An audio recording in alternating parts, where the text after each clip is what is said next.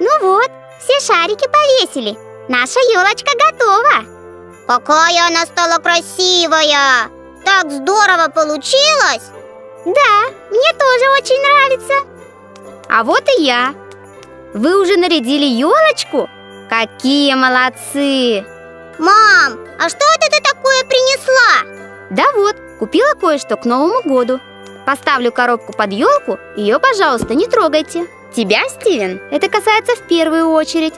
Да я и не собирался. Ладно, пойдемте спать, уже все-таки поздно.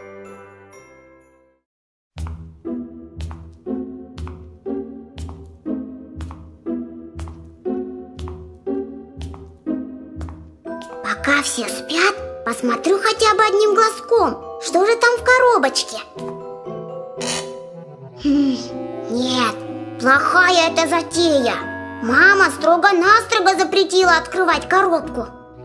Ладно, открою и сразу же закрою. Вау! Да тут же хлопушки и бенгальские огни. А что если... Хм... Нет, нельзя. А, никто и не заметит, если я использую одну бенгальскую свечку. Вон каких здесь много. Вот так. Ух ты! Как красиво! Настоящий фейерверк! Ну вот, уже погасло. Возьму-ка я еще одну. Гори, гори, свечечка. Загадаю-ка я желание. Все, готово. А? Только не это. Мама, мамочка, что же делать?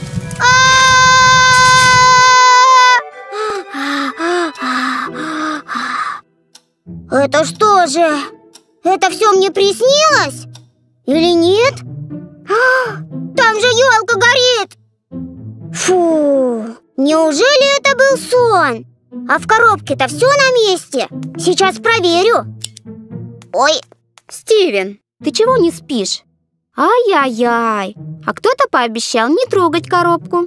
мам, я только хотел проверить, на месте ли бенгальские огни и хлопушки. А с чего ты взял, что там бенгальские огни? Э, ну как же? А разве нет? Ладно, мой маленький шпион, там новогодние костюмы для тебя и Греты. А вот какие, вы узнаете уже на празднике. Договорились? Ах, так там костюмы? Ну, значит, точно приснилось. Что, прости? Да так, ничего, мамочка. Пошли уже спать.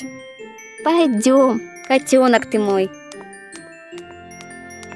Ребята, всех с новогодними праздниками!